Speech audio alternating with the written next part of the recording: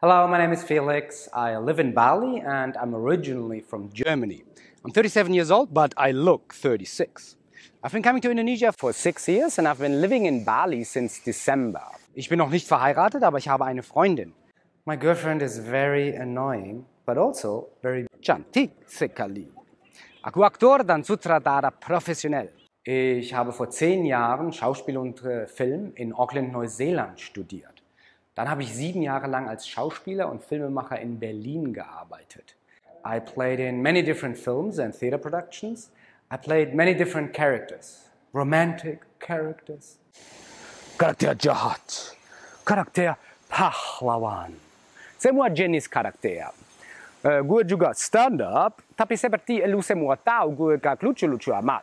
Ich mache sehr viel Sport, vor allem Kampfsport.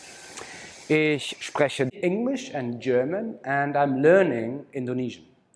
I enjoy working in the film industry a lot and I hope to meet you soon.